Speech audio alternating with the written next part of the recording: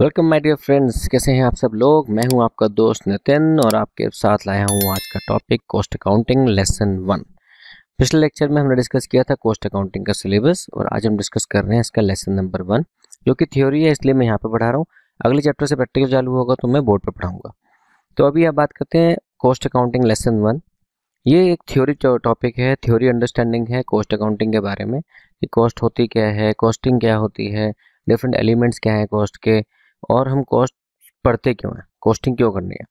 तो ये बुक आपको अगर आपको चाहिए तो अपना ईमेल एड्रेस दे दीजिए, बाकी मैं इसका लिंक नीचे लिख रहा हूँ। आप उसको डाउनलोड करके अपने पास सेव कर सकते हैं। ठीक है दोस्तों तो कॉस्ट अकाउंटिंग होता क्या है? सबसे पहले बोर मत होना क्योंकि थ्योरी है स्टार्टिंग में थोड़ा सा लगता है। I will try to be as short as possible ताकि आपको जल्दी जल्दी चीज़ें समझ आ जाए। और आपको कंसेप्टली कंसेप्चुअली अगर आपको कोई भी डाउट होता है तो please write in your comments क्योंकि चैनल आपका है, मेरा नहीं है, मैं फिर बोलता हूँ, चैनल आपके लिए बनाया गया है। कुछ भी डाउट होता है, क्वेरी होती है, आप कमेंट में डालो। जैसे टाइम मिलता है, मैं आपके सामने आता हूँ और आपको रिस्पॉन्ड करता हूँ। कॉस्ट अकाउंटिंग है क्या? जैसे मैंने एक अपनी एक वीडियो बना रखी टाइप्स ऑफ़ अकाउंटिंग की, उसमें बताया था कि एक फाइनेंशियल अकाउंटिंग होता है कॉस्ट अकाउंटिंग एक मैनेजमेंट अकाउंटिंग तो कॉस्ट अकाउंटिंग थोड़ा ज़्यादा जवान है, इसको लिखते भी ऐसे देखो।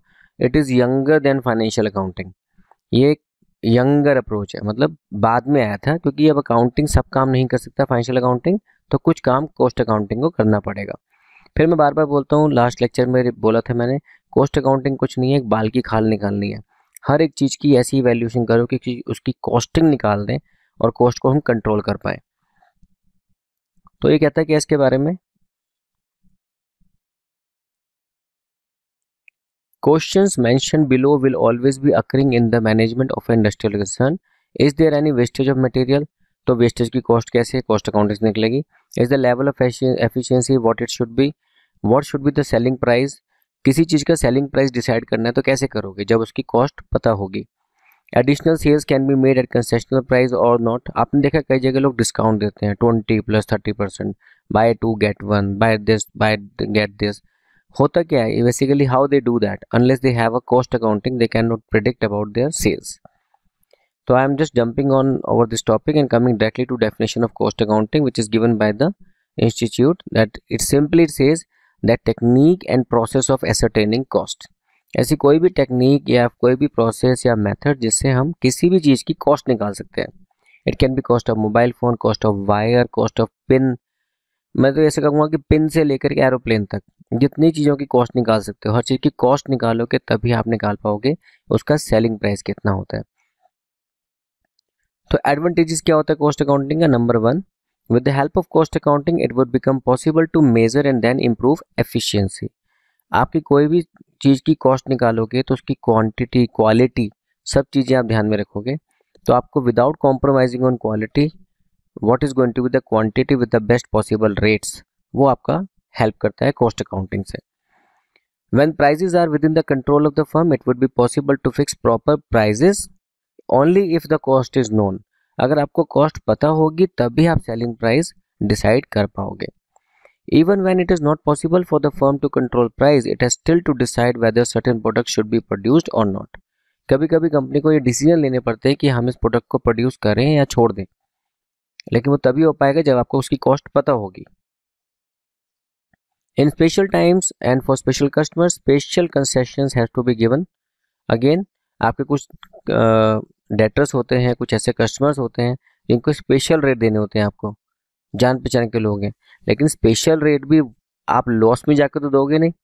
तो आपको जब कॉस्ट पता होगी तो you can decide about the minimum margin maximum margin cost accounting necessitates a number of record to be maintained like good deal of information is the is then automatically available for example availability stock of raw material would be known कितना stock आपके पास है कितनी availability है कितना raw material है कितना final goods है ये सब आपको पता होना चाहिए that will be possible only if you have good cost accounting ये सब इंपॉर्टेंट आप चीज़ें बाकी चीज़ें रिपीट हो रही हैं ये बाद में आप पढ़ लीजिएगा I come directly to the categories of cost elements of cost दोस्तों, मैंने एक टॉपिक बना रखा है वीडियो बना रखा है, आप सर्च करना उसके अंदर मैं नीचे लिंक भी दे दूँगा उसका ओवरहेड्स ओवरहेड्स का जो लिंक है दैट इज़ बेसिकली उसमें एलिमेंट्स ऑफ़ कॉस्ट ही मैंने डिस्कस किया हुआ है. एलिमेंट्स ऑफ़ कॉस्ट होता क्या है कि हमारे पास कॉस्ट किसी भी चीज़ को बनाने में तीन चीज़ें लगती हैं.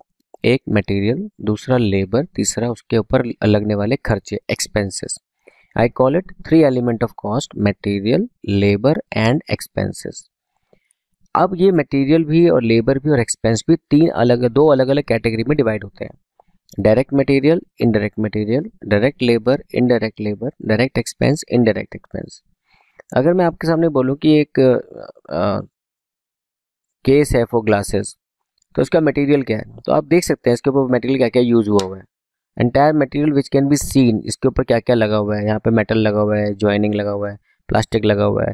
हर चीज़ इस पर लगी हुई है जो दिख रही है आपको। That is going to be the material which is use अब लेबर क्या होगी? जिसने इसको बनाया होगा। और एक्सपेंस अब डेफिनेटली कहीं ना कहीं तो बनाया ना। इसके ऊपर लाइट खर्च हुई होगी, इसके ऊपर सोल्डिंग के लिए वेल्डिंग यूज़ हुई होगी।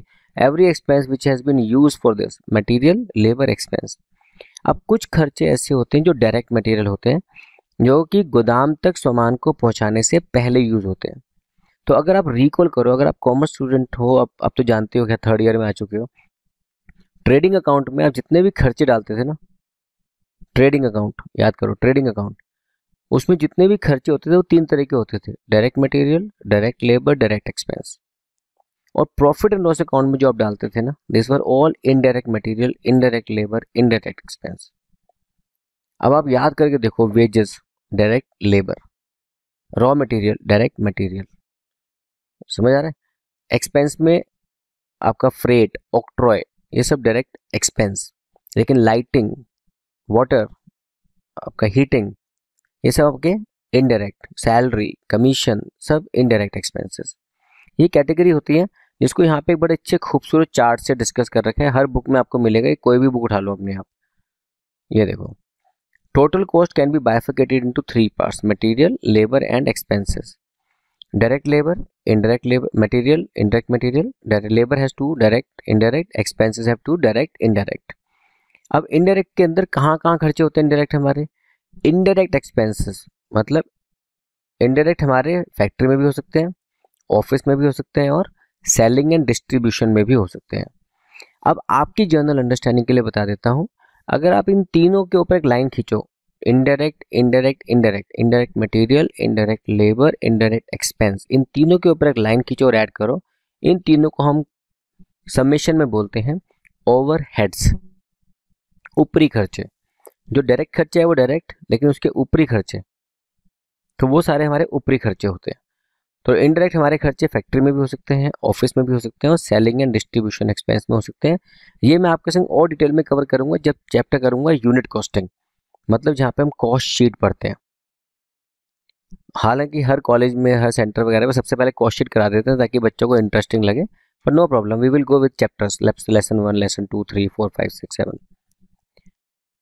ये सब प्रैक्टिकल छोड़ते हैं अभी, क्योंकि ये अभी इंपॉर्टेंट नहीं है हमारे लिए, हम इसको करेंगे बाद में। बहुत सिंपल होते हैं only to think about it बहुत सिंपल होते हैं। लेकिन अभी हम थ्योरी पढ़ रहे हैं तो पहले थ्योरी खत्म करते हैं। क्वेश्चन आता है सर क्लासिफिकेशन ऑफ़ कॉस्ट हम कॉस्ट को कितनी कैटेगरी में बांट सकते हैं? So the cost can be classified into following अब इनके पैरामीटर होते हैं कुछ। पैरामीटर क्या है?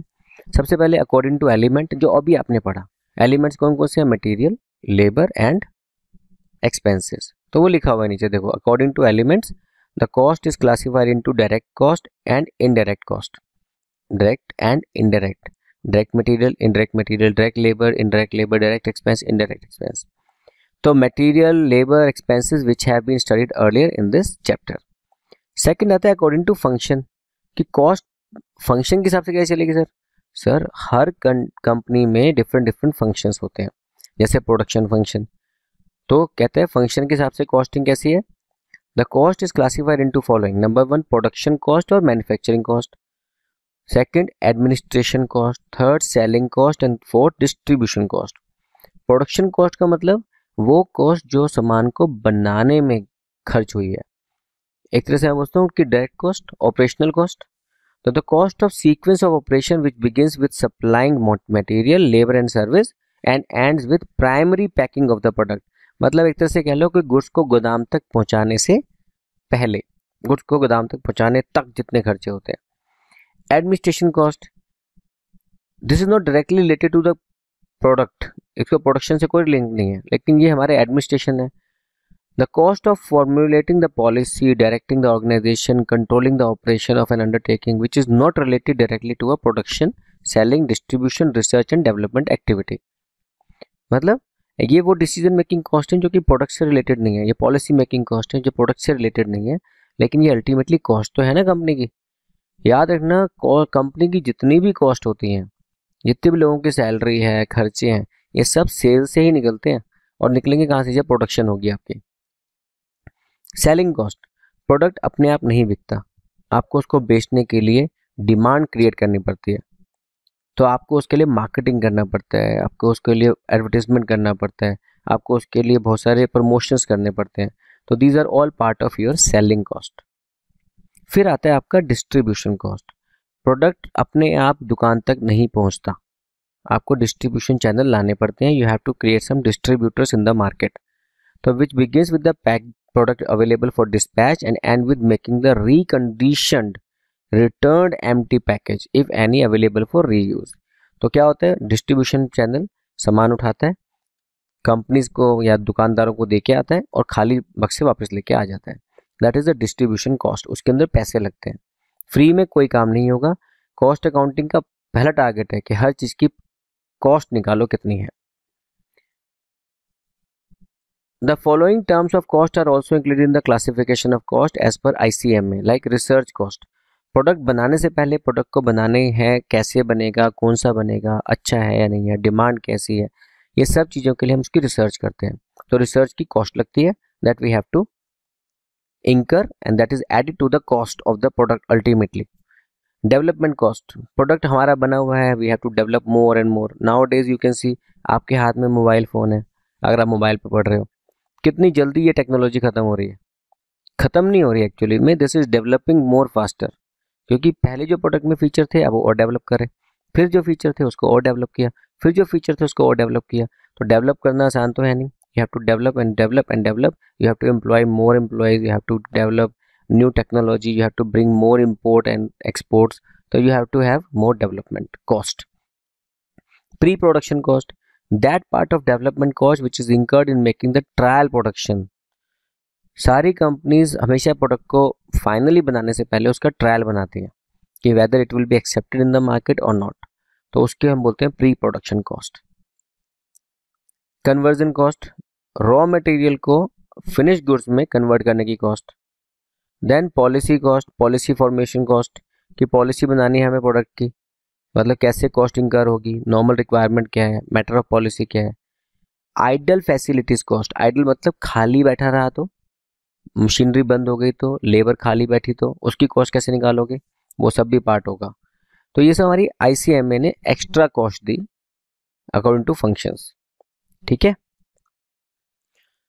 Next comes according to nature जब हम कॉस्ट की बात करते हैं तो नेचर का मतलब क्या होता है? हमारे पास तीन तरह की कॉस्ट होती है। एक फिक्स्ड एक वेरिएबल और एक होता है सेमी वेरिएबल या सेमी फिक्स्ड फिक्स कॉस्ट क्या होती है? It will remain fix throughout जैसे आपका रेंट है फिक्स रहता है। आपकी बहुत सारी चीज़ें हैं जो कि कॉस्ट फिक्स रहती है, आप उसको चेंज नहीं कर सकते। तो जैसे जैसे आपकी प्रोडक्शन बढ़ती जाएगी बढ़ती जाएगी तो फिक्स कॉस्ट पर यूनिट कम होती जाएगी। ये मैं सब चीज़ें डिस्कस करूँगा जब आपके संग प्रैक्टिकल बोर्ड पर शुरू करूँगा पढ़ाना आपको मैं। तो फिक्स कॉस्ट जब आपकी बढ़ती है, कब बढ़ती है? जब आपकी प्रोडक्शन कम रहती है पर यूनिट तो याद रखना, इसको ऐसे लेना। Fix cost per unit remains fluctuating means अगर आपकी प्रोडक्शन ज़्यादा होगी तो फिक्स कॉस्ट पर यूनिट कम हो जाएगी। अगर प्रोडक्शन कम होगी तो फिक्स कॉस्ट पर यूनिट आपकी ज़्यादा हो जाएगी। ठीक है? तो कम प्रोडक्शन में फिक्स कॉस्ट आपको नुकसान देती है। वेरिएबल कॉस्ट क्या होती है? It varies with the level of production लेकिन इसका पर यूनिट प्राइस सेम रहता है। जैसे हमने कहा कि दो रुपये का बनेगा या पाँच रुपये का बनेगा। तो प्रोडक्शन बढ़ती जाएगी तो प्रोडक्शन कॉस्ट बढ़ती जाएगी। लेकिन per unit will remain same मैं फिर रिपीट करता हूँ। Fixed cost per unit remains fixed cost per unit goes up and down with the level of production. It has inverse relationship with the production. मतलब production ज़्यादा fix cost per unit कम। Production कम fix cost per unit ज़्यादा। Variable cost has direct relationship with the production कि variable cost production के साथ साथ चलती है। लेकिन variable cost per unit remains same अब आता है सेमी वेरिएबल या सेमी फिक्स इसको ऐसे लो कि ये स्लैब्स में चलती है। स्लैब्स कैसे, जैसे आपका इलेक्ट्रिसिटी बिल आता है, इतने लेवल तक कितना, उसके बाद अगले लेवल पे कितना, यहाँ से यहाँ तक कितना चलेगा। मतलब इट विल सम टाइम भी वेरिएबल सम टाइम भी फिक्स लेकिन ये फ्लक्चुएशन चलता रहता है। तो इसके लिए क्या लिखता है, वो दिखाता हूँ आपको मैं। Semi fix cost, a cost which is partly fixed and partly variable this is the cost which change, but not in direct proportion to the increase or decrease in the production output. For example, repair and maintenance, depreciation. Depreciation हर चीज़ का अलग अलग होता है तो आपका very करता रहता है। रिपेयर एंड मेंटेनेंस किसी भी एसेट का या किसी मशीनरी का अलग अलग कॉस्ट होती है उसकी। अब आते हैं अकॉर्डिंग टू कंट्रोलेबिलिटी अब कंट्रोलेबिलिटी के दो ही एस्पेक्ट है controllable and non controllable controllable cost uncontrollable cost अब अगर बात करो फिक्स कॉस्ट फिक्स कॉस्ट अगर आपको देनी है तो देनी है ना। तो that is what that is again uncontrollable cost अब कंट्रोलेबल कॉस्ट क्या कहते हैं? The cost which can be control by specific specified member who is an important link in the management are control cost all variable cost are controllable we can only control variable cost तो आप link करने की कोशिश करो। पहले हमने पढ़ा variable cost उसी को बोलते हैं हम कंट्रोलेबल कॉस्ट पहले हमने पढ़ा फिक्स कॉस्ट उसी को बोलते हैं हम uncontrollable cost so, all uncontrollable costs are fixed cost according to normalities normality के अंदर दो पार्ट आते हैं abnormal and normal normal cost are those which are incurred at a given level of output under normal conditions normal cost है. इतनी तो cost होगी ही होगी. We cannot even we can say we cannot control them they are going to have been there हम इस cost को incur करना पड़ेगा. Abnormal cost are those which are incurred at a given level of output under abnormal conditions strike हो गई तो cost बढ़ जाएगी। रॉ मटेरियल पीछे से कम आ रहा है तो कॉस्ट बढ़ जाएगी आपकी। मार्केट के अंदर इलेक्शन चल रहे हैं, सब जगह पे चक्का जाम हुआ हुआ है, अब आपके पास कैसे सामान आएगा? डिस्ट्रीब्यूशन कॉस्ट बढ़ जाएगी। अगर आपको एक कंट्री से सामान नहीं मिल रहा तो आपको एमरजेंसी में दूसरी कंट्री से मंगवाना पड़ेगा तो आपकी export cost, import cost, custom duty सब बढ़ जाएगी। That is abnormal cost. According to relevance to decision making अब कई बार डिसीज़न मेक करने होते हैं कि कुछ चीज़ें हैं जैसे कंपनी चलाते रहें या बंद कर दें। मैं खुद बनाऊँ या खरीद के बेचूं, ऐसे बहुत सारे डिसीज़न होते हैं। ये सब हम मैनेजमेंट अकाउंटिंग में डिटेल में चैप्टर्स करते हैं, पूरे कवर करते हैं। According to relevance to decision making and control the cost classified on this basis are number one shut down cost अब कई लोग कहते हैं, बिज़नेस को बंद कर दो। सर, बिज़नेस को बंद करना इतना आसान नहीं होता। आपको एम्प्लॉयज़ को निकालना है, उनकी सारी सैलरी उनकी सारी पेमेंट करनी पड़ेगी, आपको इलेक्ट्रिसिटी बिल पे करने पड़ेंगे कंपनी को बंद करना पड़ेगा, आपको उसकी फॉर्मेलिटीज़ डालनी पड़ेगी। A cost which has which will be required to incur even though a plant is close और shut down for a temporary period और permanent for example depreciation repair expense the cost of rent rates सब आपको देना पड़ेगा। आप उससे avoid नहीं कर सकते। नेक्स्ट आता है sink cost these cost are incurred in the past and have no effect on future decision making. For example, when replacement of an asset is under consideration, the undepreciated value of existing asset is called sink cost. इस sink नहीं इसको sunk बोलते हैं यहाँ पर गलत लिखा हुआ है sunk S U N K आप ठीक कर लेना तो हमारी पास्ट कॉस्ट होती है इसको भूल जाओ ऐसा हो गया निकल के आप क्या कर सकते हो this can not become part of you and you have to ignore it अब आप इसको ले नहीं सकते इसके ऊपर एक वीडियो बना रखी है मैंने संक कॉस्ट एक साधु की कहानी। आप सर्च करना उसके अंदर, एक साधु की कहानी से समझा रखा है मैंने उसको। ठीक है? अपॉर्चुनिटी कॉस्ट अपॉर्चुनिटी कॉस्ट के ऊपर भी वीडियो मैंने बना रखी है अलग से एक। छोटे छोटे वीडियोस मैंने कुछ वर्ड्स की बना रखी हैं। अपॉर्चुनिटी कॉस्ट होता है कि आपके पास दो ऑप्शन है। आपने पहले ऑप्शन को छोड़ के दूसरा लिया। तो पहली ऑप्शन की जो कॉस्ट थी, वो हो गई अपॉर्चुनिटी कॉस्ट सपोज़ आपको सैलरी जॉब ऑफ़र हुई आपकी, एक जगह जॉब ऑफ़र हुई, पाँच हज़ार की, दूसरी जगह ऑफ़र हुई आपको दस हज़ार की। बुरा मत मानना, सिर्फ़ बताने के लिए। भगवान करे आपकी जॉब पचास हज़ार, एक लाख की लगे। आपकी जॉब लगी पाँच हज़ार की, एक जगह दस हज़ार की तो आपने पाँच हज़ार को छोड़ के दस हज़ार लिया। तो that is your opportunity cost कि आपने इस अपॉर्चुनिटी को लेने के लिए कितना सेक्रीफाइस किया। We call is cost of sacrifice imputed cost, it is hypothetical cost required to be considered to make cost comparable. For instance, interest on capital is after required to be included in the cost of project even though it is not actually payable अब आपने interest on capital मैंने पूंजी लगाई company में। और मैं कह रहा हूँ, अपने खुद ही को इंटरेस्ट ले रहा हूँ मैं, और उसको भी मैंने ऐड कर दिया प्रोजेक्ट में। अब एक्चुअली में आप इंटरेस्ट थोड़ी ले रहे हो कंपनी से। खुद का प्रोजेक्ट है, खुद ही लगा रहे हो, खुद ही पैसे लगा रहे हो, खुद ही इंटरेस्ट ले रहे हो। तो एक्चुअली में that is called imputed cost hypothetical cost out of pocket cost a cost which will have to be paid or to outsiders as against cost such as depreciation which do not require any cash payment हम बाहर वालों को payment तो कर रहे हैं, लेकिन payment कर रहे हैं, लेकिन नहीं कर रहे। पेमेंट करते हुए भी नहीं कर रहे। Depreciation depreciation is a charge not actual cash payment अब हम बात करते हैं कॉस्ट अकाउंटिंग के मेथड्स की। ये वो है जो अब तरह से जो स्टार्टिंग में हम सिलेबस पढ़ा था ना पहले सिलेबस वो नाम आएँगे देखो। जैसे जॉब कॉस्टिंग जैसे टेलर को सामान दिया, कोई पर्टिकुलर काम करवाया प्लम्बर को बुलाया, ये काम करके दो। तो आपने क्या किया? जॉब कॉस्टिंग एक पर्टिकुलर जॉब कराई, उससे आपने कॉस्टिंग कितने पैसे दिए? बैच कॉस्टिंग आज की डेट में आप जैसे स्टूडेंट तो बहुत जानते हैं, आप एक क्लास में ट्यूशन पढ़ने जाते हो। अब जैसे यहाँ तो मेरे पढ़ रहे हो तो आप पढ़ रहे हो सिर्फ़। मैं कोई कोचिंग नहीं ले रहा, कोई बैच नहीं है आपके पास। अलग अलग सब अपने मोबाइल में मोबाइल टीवी में या डेस्कटॉप पे सब पढ़ रहे हो। बैच कोस्टिंग क्या है? जैसे आप एक क्लास में जाते हो, साठ बच्चे इकट्ठे पढ़ रहे हैं तो वो साठ बच्चों का बैच है। उस साठ बच्चों के बैच पे common electricity common teacher common platform common खर्चे हो रहे हैं। तो उस बैच की कॉस्ट कितनी आई? सिमिलरली एक पर्टिकुलर लॉट में एक्सपोर्ट ऑर्डर मिला आपको। तो आपने एक्सपोर्ट के लिए एक साथ हज़ार शर्ट्स बनाई, हज़ार ट्राउज़र बनाए, हज़ार अप्रैल बनाए, हज़ार डिज़ाइन बनाए। तो एक हज़ार का बैच बन गया आपका। उस बैच की कॉस्टिंग कितनी होती है? वो निकालने के लिए टेक्निक है बैच कॉस्टिंग कॉन्ट्रैक्ट और टर्मिनल कॉस्टिंग ये हमारे वो जो कॉन्ट्रैक्टर होते हैं ना कंस्ट्रक्शन करते हैं करते हैं जो। एक घर बनाया, ख़त्म हो गया, दूसरा बनाया, ख़त्म हो गया, तीसरा बनाया, ख़त्म हो गया। अब हर कॉन्ट्रैक्ट की कॉस्ट अलग अलग निकालनी पड़ती है ताकि पता चले कि हर कॉन्ट्रैक्ट पे कितना प्रॉफिट हो रहा है। ये पूरा चैप्टर डिटेल में मैं बोर्ड पे कराऊँगा ढंग से आपको। अभी थ्योरी के हिसाब से सिर्फ़ समझ लो कंस्ट्रक्शन कंपनी के लिए यूज़ होता है ये।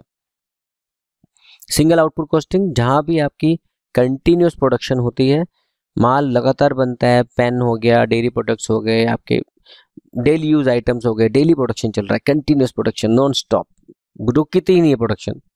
वहाँ हर जगह पे आपका सिंगल आउटपुट यूज़ कॉस्टिंग को हम यूज़ करते हैं to find out the cost of one then decide the selling price of one process costing ये मैंने डिस्कस किया था सिलेबस के टाइम पे भी आपसे, दोबारा बोलता हूँ, एक प्रोडक्ट कभी कभी बहुत सारे प्रोसेस से पास करता है तो हर प्रोसेस की अपनी कॉस्ट होती है। और हर प्रोसेस की कॉस्ट को आपको एवेल्यूट करना है कि कम है, ज़्यादा है, ताकि आप उसको कंट्रोल कर सको। ऑपरेशन कॉस्टिंग और ऑपरेटिंग कॉस्टिंग दो नाम में बच्चे कंफ्यूज होते हैं, आप मत होइएगा। ऑपरेशन कॉस्टिंग होते हैं जहाँ पे हम बात करते हैं प्रोडक्शन की मैकेनिकल पार्ट की। ऐसे प्रोडक्ट जो कि साइकिल बना रहे हो, आप मोटरसाइकिल बना रहे हो कार बना रहे हो, उसकी कॉस्ट कितनी बन रही है? लेकिन ऑपरेटिंग कॉस्टिंग होता है सर्विस इंडस्ट्री के लिए। जैसे कोई बस कंपनी है ट्रांसपोर्ट कंपनी है, रेलवे, एयरलाइन, होटल इंडस्ट्री है, हॉस्पिटैलिटी इंडस्ट्री है, ये लोग जो अपनी कॉस्ट निकालते हैं, रेस्टोरेंट्स, रेस्टोरेंट वाला कैसे डिसाइड करता है कि मैं कितने रुपए प्लेट रखूँगा खाने को कि मेरी ना सिर्फ़ खाने की कॉस्ट निकल जाए, बल्कि इलेक्ट्रिसिटी की भी निकल जाए, एसी की भी निकल जाए, पानी की भी निकल जाए, वेटर की भी सैलरी निकल जाए, मेरे खर्चे निकल जाए फिर भी मुझे प्रॉफिट हो जाए। तो वो कैसे निकालेगा? ऑपरेटिंग कॉस्टिंग के थ्रू। ये सब प्रैक्टिकल है, बाद में समझाऊँगा आपको। डिपार्टमेंटल कॉस्टिंग, हमारे डिपार्टमेंट अलग अलग हो सकते हैं, प्रोडक्शन डिपार्टमेंट, सर्विस डिपार्टमेंट, वो हम अलग से चैप्टर करेंगे पूरा, जिसमें हम प्रोडक्शन डिपार्टमेंट की कॉस्ट और सर्विस डिपार्टमेंट की कॉस्ट सेपरेटली निकालते हैं, लेकिन अल्टीमेटली सर्विस डिपार्टमेंट की कॉस्ट को वापस हम प्रोडक्शन में डाल देते हैं that will be covered in the chapter overheads फिर मल्टीपल कॉस्टिंग कई बार एक चीज़ की कॉस्ट निकालने के लिए कई बार उसकी कॉस्ट निकालते हैं। तो the method a combination of two और more method is followed where the final product consist of number of separate parts अब एक की जगह पे एक ही प्रोडक्ट बना रहे हो। फॉर एग्जांपल मोटर कार अब मोटर कार के कुछ प्रोडक्ट होते हैं जो कंटिन्यूस प्रोडक्शन से आते हैं। उसके ऊपर आपको सिंगल यूनिट आउटपुट कॉस्टिंग निकालना पड़ेगा। लेकिन कुछ प्रोडक्ट है जो आपकी स्पेसिफिक है तो जॉब कॉस्टिंग हो जाएगी।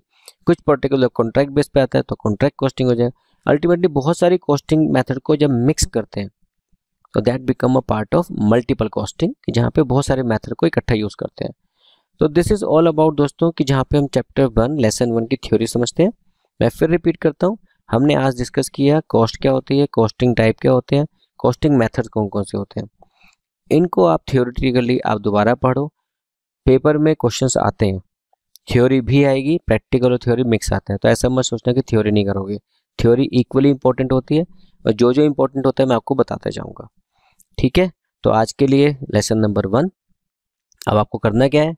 फिर से जो मैं बोलता हूँ हमेशा, इस चैनल पे एक बटन लाल रंग का सब्सक्राइब, उसको दबा दो, बेल आइकन दबा दो। जैसे जैसे मेरे चैप्टर आते रहेंगे, कुछ चैप्टर्स ऑन स्क्रीन पढ़ाऊँगा, कुछ चैप्टर मैं आपको ऑन बोर्ड पढ़ाऊँगा। तो जैसा होगा, मेरा तो पढ़ाने का तरीका, अगर आपको अच्छा लग रहा है तो प्लीज़ फॉलो भी करो चैनल को और अपने दोस्तों तक भी पहुँचाओ, क्योंकि जितना ज़्यादा शेयर करोगे, उतना आपकी तरफ़ से केयरिंग होगी। All right, with that, this is nathan goyal. Thank you very much. I take a leave. God bless you all. Bye bye